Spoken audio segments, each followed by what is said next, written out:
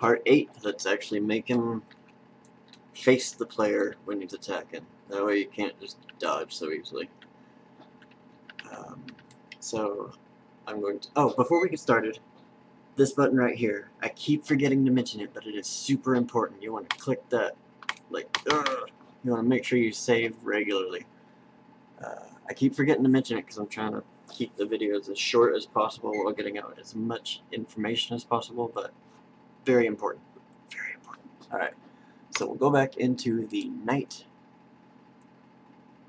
and we will set up. This is getting messy. I'm gonna, let's see, I'm gonna clean this up just a little bit. So box select and you can hit C on the keyboard to create these comment boxes. I'll call this one patrolling. I'll delete that one for now. C on. This way we can just kind of keep track of everything. This is his attacking state. So C attack state. One more of this one called attack trace. That way we can just kind of keep it pretty. Organization is key, otherwise everything just gets lost. So, alright, now compile and save that, and we'll right click underneath it all and add another custom event called face. Oh, what had happened? Okay. Called face player. That way, whenever they're attacking, which actually off of our attack state, I'll go ahead and face call our face player function. Yeah. Okay, so we will do a branch to find out if they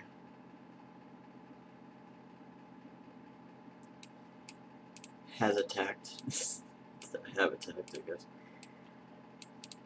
If true then we will right click set actor rotation true. Target is self yes we want that. New rotation. Drag off of that hit find look at rotation. For the start basically this is where we're starting from. Get world location. Hook that to the start. Back that up a little bit for the target. We will drag out our player ref get actor location boom.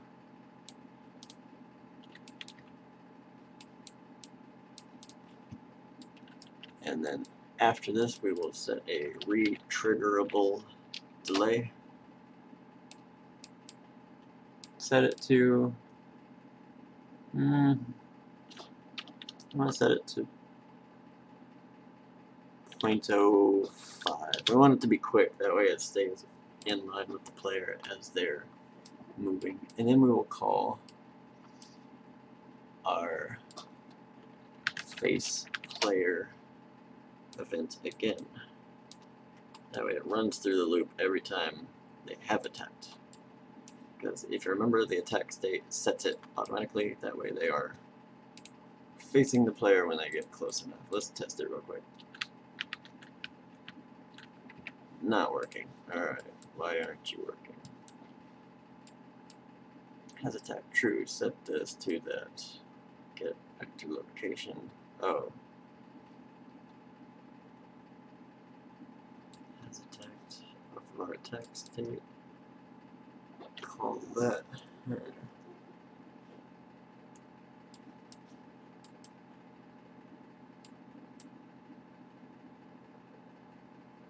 Yeah, we'll just hook this all the way to false. Hook the false all the way over to here. I think it was firing and then forgetting when it wasn't in an attack. Whoa. Right, you gotta have a delay in there. So hook it to the delay and not directly to face player. Otherwise, it's just gonna be like face player, face player, face player. So try that now. There you go. He's facing the player. He's a little janky. Maybe if we set that to 0.01. Oh, and one thing we want to do, you notice he kind of was looking up into the sky. Let's drag this back a little bit. We will drag off the return value and type in break rotator. Drag off this one and type in make rotator. And we only want him to be going around the z-axis because we don't want him looking up or anything. We just want it rotating in place. So back that up a little bit.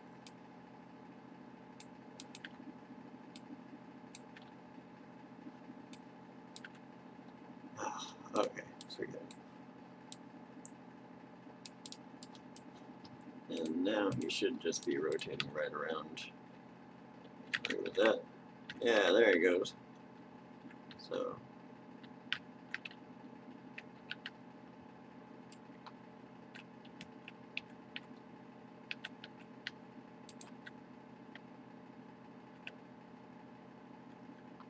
I don't think he's actually. Oh, he's interacting with the shield. Huh. Alright. In our player BP, we want to hit the mesh, go down to collision, and in collision presets, go to custom. And we want to make sure that he is blocking visibility. That way, those traces will actually do like they're supposed supposed to. Yeah, it should be doing damage to her now. And just to test that, we'll actually set up our HUD real quick. So, under our blueprints, blueprints folder, we'll right-click, new folder, call this HUD elements, because we'll have more than just one. We'll have quite a few actually. So, right-click, user interface, widget blueprint. Call this player HUD. Double click that to open it up. And first thing we want to do is right click the canvas panel, wrap with a scale box, right click it again, wrap with size box. This will make it to where later on when you're ready to package out and send it to different people or send it to different people to test, no matter the resolution of their computer screen, it'll all be lined up just right. So in the size box, we will hit width override and height override. Set that to 1920 by 1080. Compile. And drag off a progress bar from the common palette up to the top left or wherever you want it, you know, whatever. I'm going to do the top left for the health. And in the progress, fill it up a little bit. I'm going to set it to a red color. Set it to whatever color you like. I like red for health. Standard, I guess. Okay. In, oh, the appearance will have the fill color and opacity. For percent, instead of just setting it like this, we want to click bind right here and create a binding.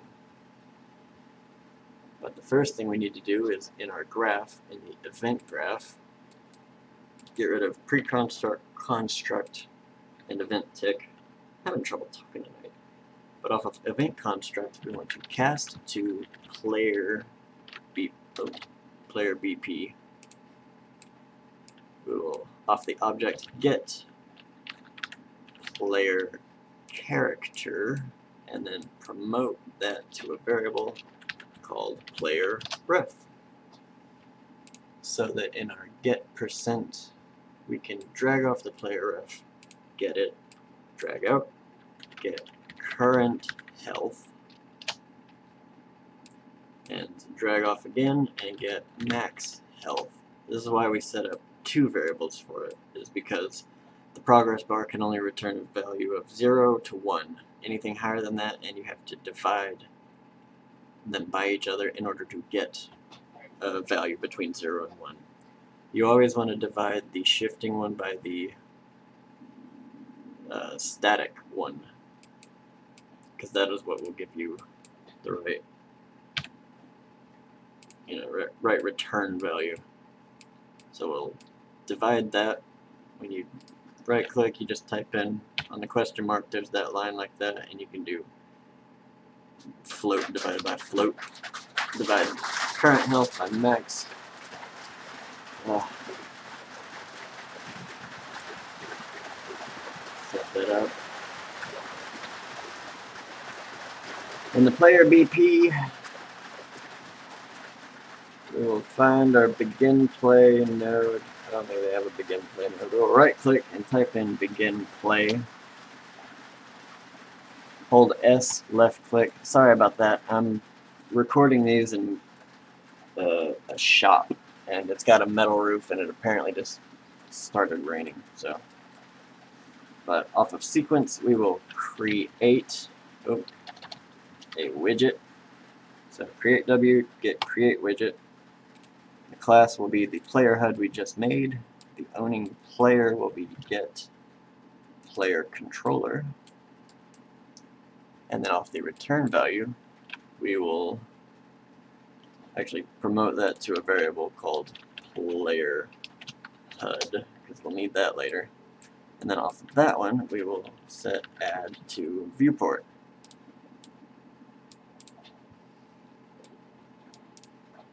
Now we can actually see our character's health, and there it is. So let's see if she takes damage and it goes down. They do not. Did I set up attack? Player HUD. Get percent should be working fine. Player BP. No, no. Player stats. Current health. Max health. Oh because we got to set up our damage function. Alright, so in our player blueprint, we want to get any damage, event any damage, and we will set our current health. I'm going to make this quick just because the rain's picking up and I don't want it to be bothering y'all's ears or whatever. We will minus, uh, shift that down to the bottom one actually. Uh, if you have lines hooked up that you don't need and you want to just disconnect it without having to delete the whole thing, if you hold Alt on the keyboard and then left click the line, you can disconnect wires. So we'll get get our current health. We want to subtract the damage from our current health and then return that. So now that should make it to where we can check and see. Come get me, boy. Yeah, there it goes. Now he's doing some damage.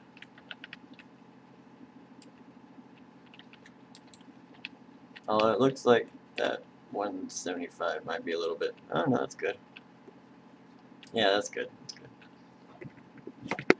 So, he's doing some damage and he'll face the player. If you want those lines, those red lines to go away, just in your knights anim graph. Just find that line trace. Oh no, that's right. In the knight, in the actual knight. Find the attack trace and for uh, for the draw debug type, set it back to none. And we'll box that off, comment, face, layer, compile, save all because you want to do that regularly. And then I don't think we have damage set up for the knight anymore, so let's add that in real quick, which we will add in a new variable, call it health.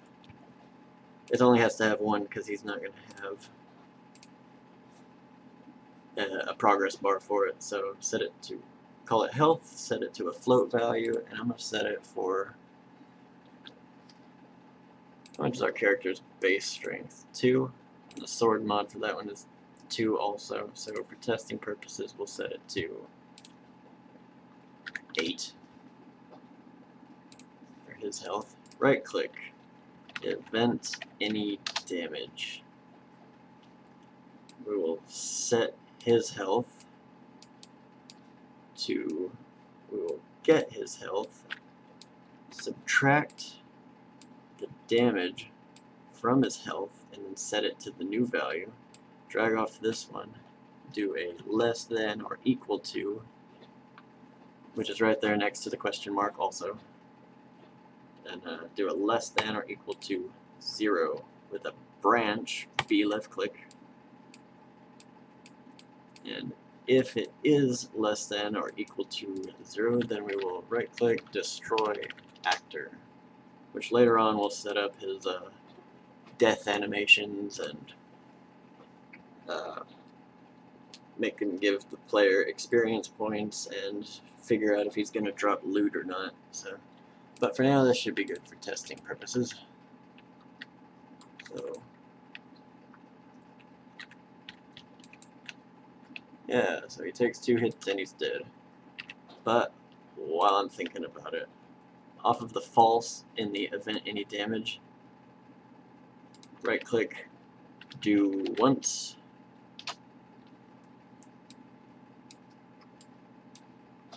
and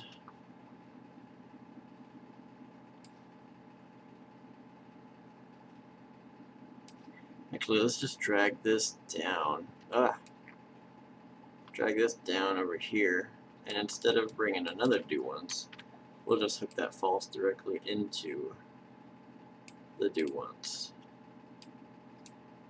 And then it'll do this every time he's hit the first time. So, so now when I sneak up behind him and smack him in the back, he'll automatically turn around and start chasing me to kill me. So there we go. Now he's hurting us. And we can kill him. So, yep, there we go. And the next one, we'll start setting up his death animations and stuff, because I think this one might be running, yeah, 17 minutes. Yeah, I'll keep this one a short one. So, yep, see you in the next one.